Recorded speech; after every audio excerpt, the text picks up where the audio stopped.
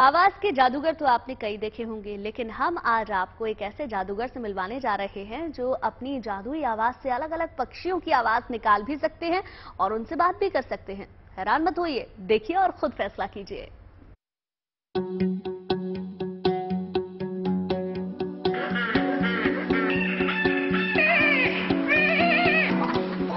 अद्भुत, अविश्वसनीय, अकल्पनीय।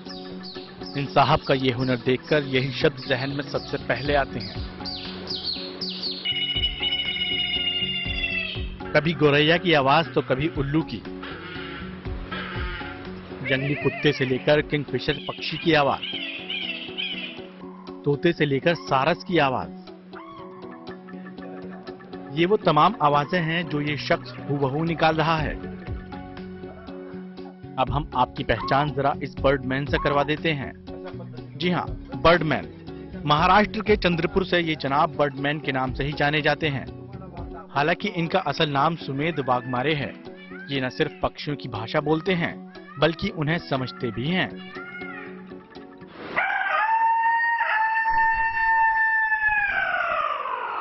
इस तरीके से वो आवाज़ निकालता है। या उसकी दोस्त हो तो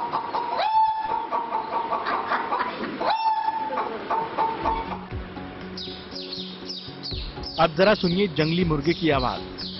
किसे शक होगा कि जंगली मुर्गे की ये आवाज़ है या फिर किसी इंसान की?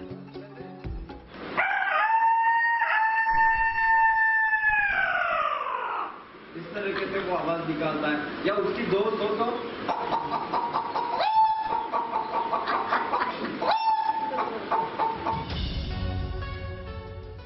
बर्डमैन सिर्फ़ सारस तोते और जंगली मुर्गे की ही नहीं बल्कि 200 से ज़्यादा पशु और पक्षियों की आवाज़ हूबहू निकाल लेते हैं।